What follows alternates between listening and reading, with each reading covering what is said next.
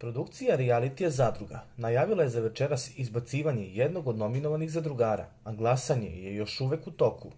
Naime, Paula Hublin i Milomir Čuković nominovani su ove nedelje za izbacivanje iz Zadruge.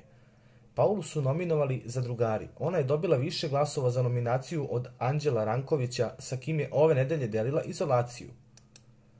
Sa druge strane, Milo je ove nedelje dobio najmanju podršku gledalaca i zato je on završio u duelu sa Paulom.